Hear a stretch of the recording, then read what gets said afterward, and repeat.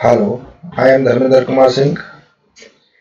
Today I am talking about the introduction of e-OPDs in government hospitals in Himachal Pradesh. At present, there is a system of general OPDs in the government hospitals for which people are waiting in queues for their registration of OPDs and waiting in queues for consultation and lab tests and consultation with the doctors. In present system, we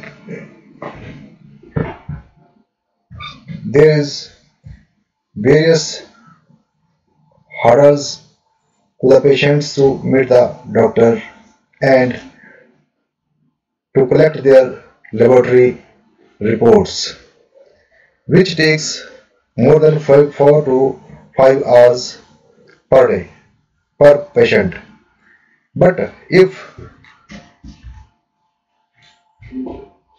the e online OPD registration through website is started then, then there is no need for waiting in queues for OPD registration.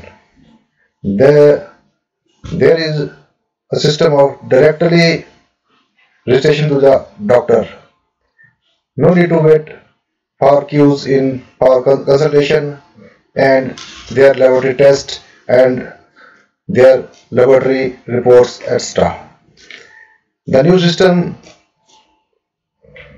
which requires a software for e-OPD system and which reduce the time the, uh, spent by the patients for OPD consultation and laboratory tests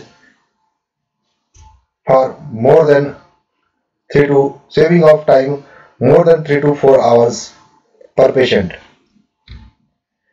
Thank you.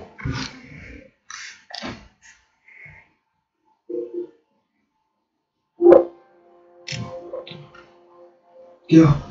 Começar